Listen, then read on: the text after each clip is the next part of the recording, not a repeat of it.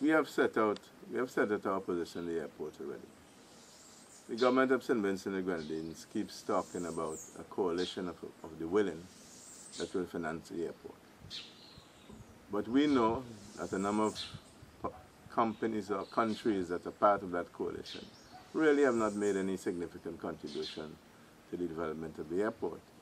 Indeed, we have a situation in which even Venezuela, which is supposed to be the main financier, has been providing little in terms of cash to the airport.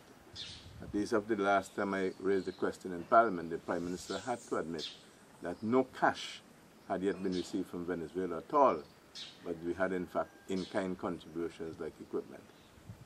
So the whole question of the finance of the airport is up in the air.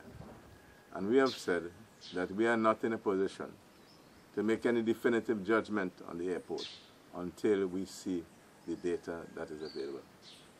And we can only see that when go into office because the government has refused to set out the financing that is available for the airport. And you have said categorically that we'll hire a consulting firm to assess the situation, including the financing that is available and the financing that is needed before we announce any decision in relation to the airport.